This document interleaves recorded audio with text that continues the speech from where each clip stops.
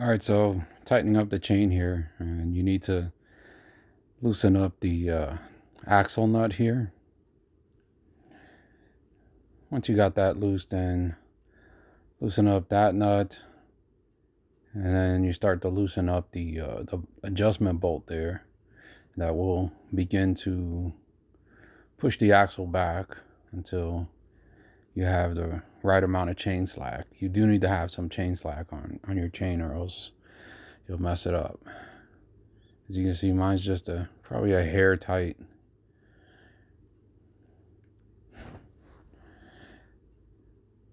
So once you do that, you go ahead and do it on the other side as well. And you want to make sure that you adjust them even so that you have even uh, tire wear. And you see I use a caliper um, to measure the gap on both sides. Now you don't have to go by that because um, you could have even gap on each side, but it's not aligned. You you know your chain might not be aligned with your chain alignment tool. So your chain alignment tool is really the key here. Um, you, you know if you're off like you know a millimeter or whatever, a couple millimeters, it's no big deal. Because there are variances in these um uh, these swing arms. But you see how I got that lined up there.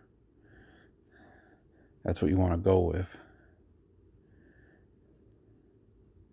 And that'll add to the longevity of the uh, the chain and sprocket.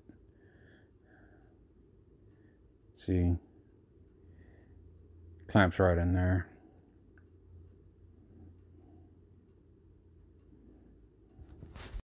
Alright, so when I do my chain cleaning, I like to use Maxima products.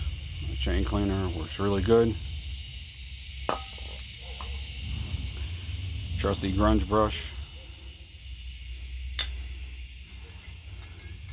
Some chain wax. This stuff right here is really good at not uh, grabbing a bunch of dirt and sticking to it, to the chain. And it stays on. Thanks for watching and remember every day is an adventure.